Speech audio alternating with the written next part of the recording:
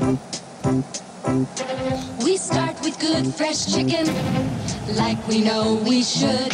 Eleven herbs and spices make it finger licking good. We use fresh chicken, not frozen. It's the Colonel's secret recipe that makes it taste so good.